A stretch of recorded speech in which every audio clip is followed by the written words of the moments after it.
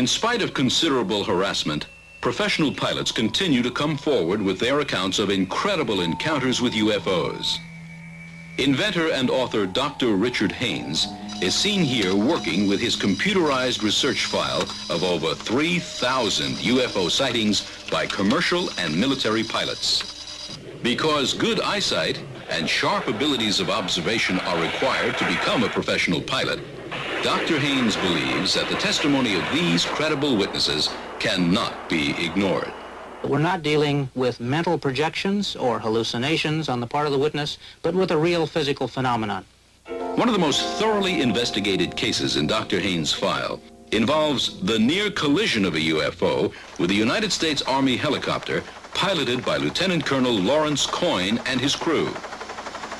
While flying over Mansfield, Ohio at 11 p.m. on October 18, 1973, they observed a bright red object which paralleled their craft and then rapidly moved toward them on a collision course.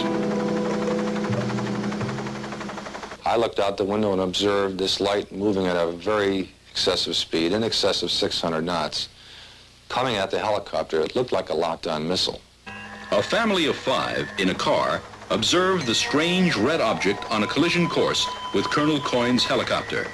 They pulled off the road to watch. The thing that makes this particular evening a unique experience was that it was almost a mid-air collision with an object that we, or you know as a UFO. We did not know it was such until it was on top the helicopter, and that took just a matter of minutes. Colonel Coyne put the helicopter into a dive to try to avoid impact. When he and his crew looked up, the object was keeping pace with them. While it was in this position, uh, the green light came out from the undercarriage of the UFO. Colonel Coyne cut the power and set the controls for a steep dive. In spite of this, the helicopter was pulled upward toward the UFO from an altitude of 1,700 feet to an altitude of above 3,700 feet. Colonel Coyne and his crew observed the strange UFO at close range for approximately two minutes. The object that I viewed that particular evening uh, had a high degree of technology, was composed of a structure and a design that we do not have. The object can move through the atmosphere without causing any turbulence. It can move at high speeds below 10,000 feet. There are no vertical or horizontal stabilizers, no landing gear, no source of propulsion reflected on the craft. Looks like it, it, it could go fly in space.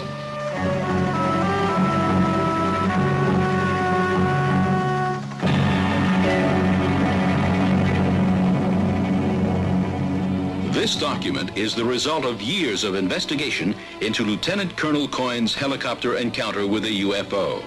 It verifies the facts just presented to you.